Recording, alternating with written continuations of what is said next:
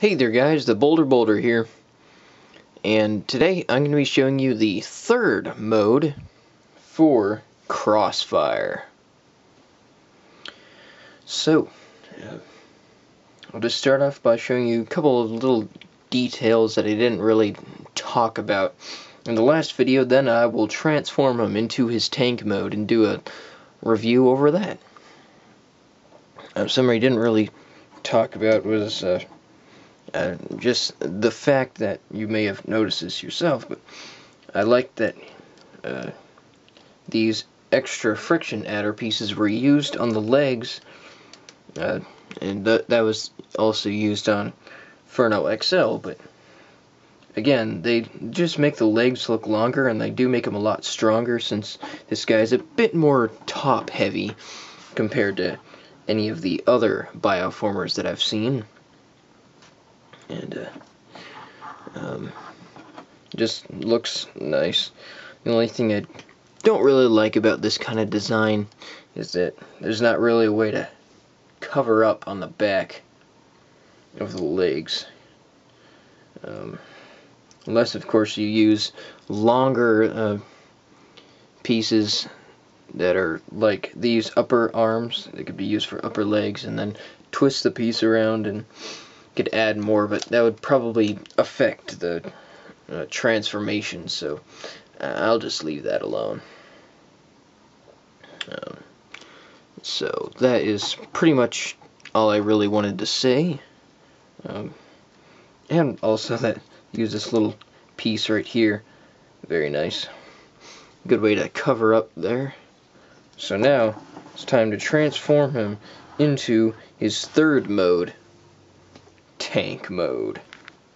Now here is the tank mode. Pretty cool.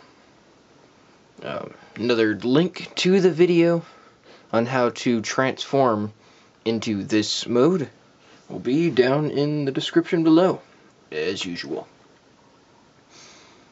So, I'll just look at this vehicle mode.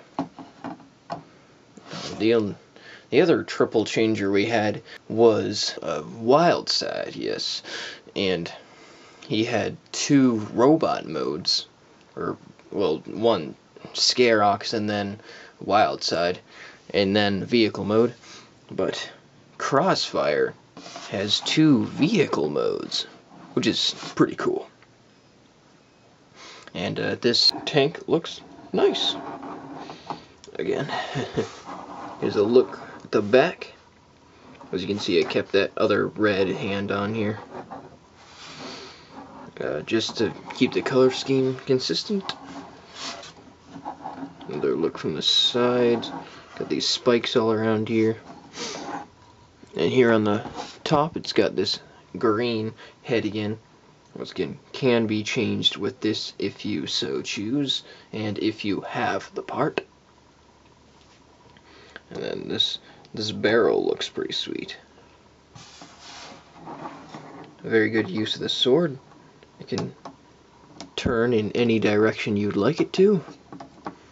Though, uh, unfortunately, it, these flames right here get in the way. But, of course, if you wanted to, you could easily remove them.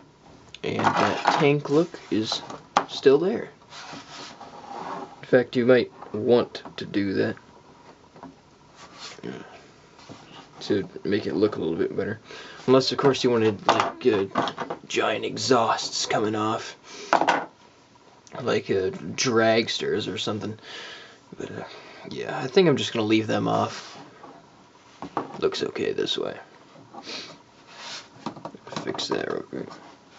So there you go closer look.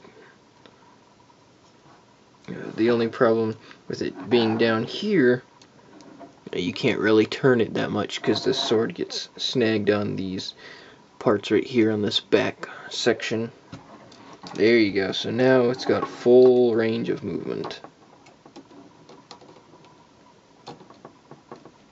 There you go. Try to lock that in place. There you go. So, that is uh, about it. Uh, except right over here now that these uh, these little guns, they almost look like exhaust outlets now. And then the, it, it would make sense to see the flames coming out of there if it was going uh, really fast or something. Maybe even just for intimidation sake. Got some flames back there too. Those look kind of cool. Yeah. Overall, nice look to it. Once again. So, yeah, try to put these clamps back on here, hold it in place. There. Push these in. Alright. That looks good. Much better. So, just wanted to show you guys the third version for Crossfire. So, that's uh, all I really got for you guys. Um, please be sure to check out my Facebook and Blogspot pages, because on Facebook I've got pictures of these bioformers up on there. If you'd like to check that out, and please be sure to like that page as well.